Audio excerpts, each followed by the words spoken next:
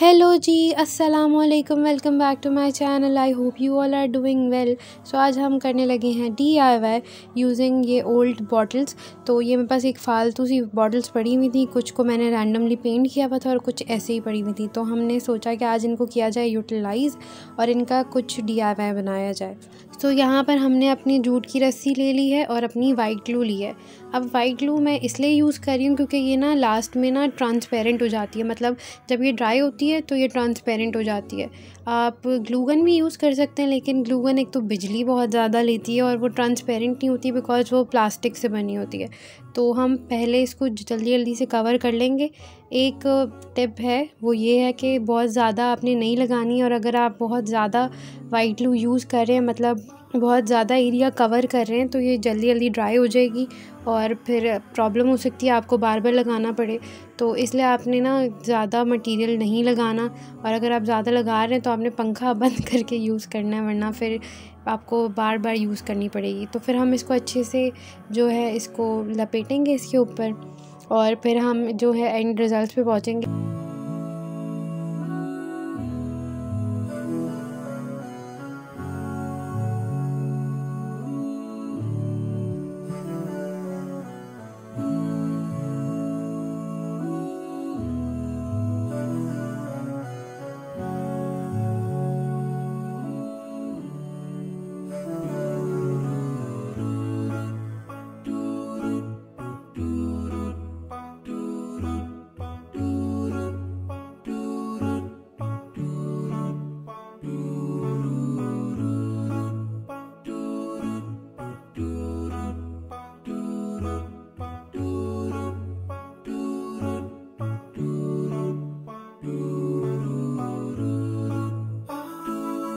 तो यहाँ हमारा फ़र्स्ट बॉटल का लपेटना हो चुका है डन अब बाकी दो को भी हम लपटेंगे और अब हम वापस आएँगे. सो ये यहाँ पर अब तीनों डन हो चुकी हैं. अब हम इस पर बीड्स वगैरह लगाएँगे. ये जो बीड्स वगैरह मैं यूज़ कर रही हूँ, ये भी मैंने पुराने ही यूज़ किए हैं. मेरे पास फालतू ही पड़े हुए थे. तो ये जो पूरा डी आई वाई ये मैंने सिर्फ़ वेस्ट और ओल्ड मटेरियल ही बनाकर यूज़ किया है. इसमें कुछ भी चीज़ मैंने नई नहीं ली. ये सब कुछ मेरे पास फालतू पड़ा हुआ था. तो हमने सोचा कि यार कुछ डी करते हैं तो रैंडमली एक थॉट आया पिंट्रेस्ट पे भी ऐसी चीज़ें चल रही होती हैं ना तो बहुत इंस्पायर करती हैं। तो वो एक रैंडम चीज़ें आ रही थी तो फिर मैंने भी सोचा कि यार लेट्स डू समथिंग ये इसका आइडिया वैसे पिंट्रेस्ट से नहीं था लेकिन जो थॉट था वो वहीं से आया था। सो so, यहाँ हम आहिस्ता आहिस्ता करके ना फोर्थ पार्ट पे लगाएँगे मिरर्स देन हम लगाएँगे उसके अपर वाले पार्ट्स पे बीड्स फिर जो बॉटल का कैप वाला एरिया होता है, हम वहाँ पर बीड्स लगाएँगे। अब आपने टेंशन बिल्कुल नहीं लेनी क्योंकि वाइट ग्लू ट्रांसपेरेंट हो जाएगी। हाँ ये निशान छोड़ेगी, लेकिन ये बिल्कुल लास्ट में ट्रांसपेरेंट हो जाएगी तो आपको टेंशन लेने की ज़रूरत नहीं है। ये एक वार्निश टाइप का लुक दे देती है।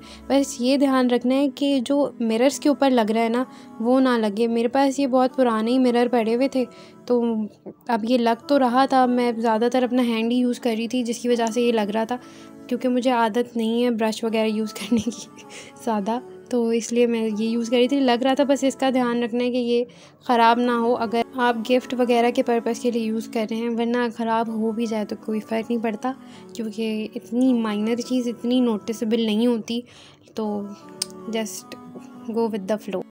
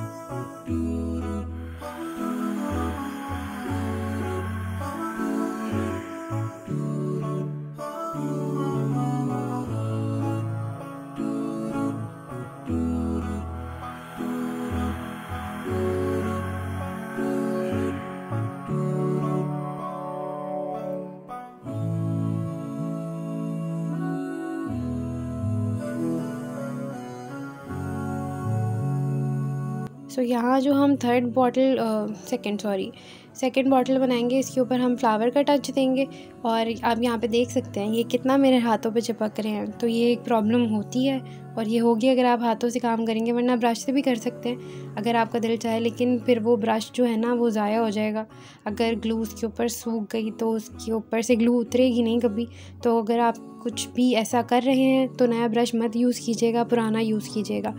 अब ये हम फ्लावर बनाएँगे और जो थर्ड वाली बॉटल होगी ना, उस पर मैंने बिल्कुल ही रैंडम किस्म के ना डिज़ाइन बनाया। मतलब रैंडम सीक्वेंस में ना बीड्स इधर, उधर उधर लगा दी, क्योंकि मुझे उसमें समझ नहीं आ रहा था मैं क्या करूँ। लेकिन एंड रिज़ल्ट में ये बड़े एस्थेटिक सी लग रही थी, बिल्कुल ही पिंटस्टी टाइप की लग रही थी। तो अब हम एंड रिज़ल्ट पहुँचते हैं और फिर वापस आते हैं।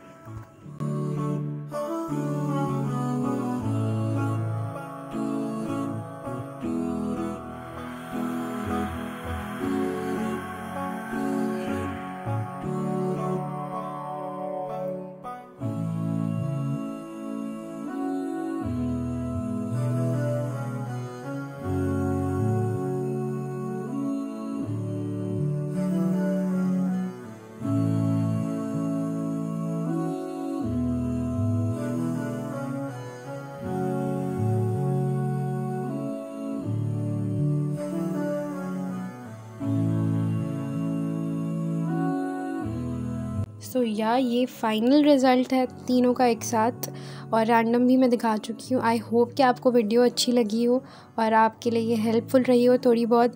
अगर आपको अच्छी लगी तो do like share and subscribe for more content like this और support your support really really matters so bye bye अल्लाह हाफिज़ टेक केयर